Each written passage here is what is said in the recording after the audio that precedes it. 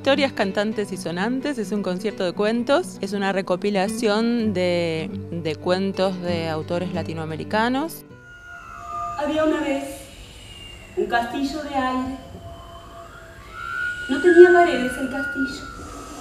Con este ciclo maravilloso que están haciendo Marzo Mujer y Memoria, que a que no solo un día volvamos a pensar en las mujeres y en la lucha de las mujeres cotidianas, sino que haya muchos días en este mes marzo que se potencien las luchas y el trabajo que se hace cotidianamente, a veces invisible. Y nos parece que un espectáculo de estas características, donde hay alquimia entre la palabra y la música, y donde se convoca no solo a la infancia, sino también a los adultos y a las adultas que acompañan esa infancia, nos parece que es un modo también de, de estar en las calles, de ser una especie de marcha de escobas.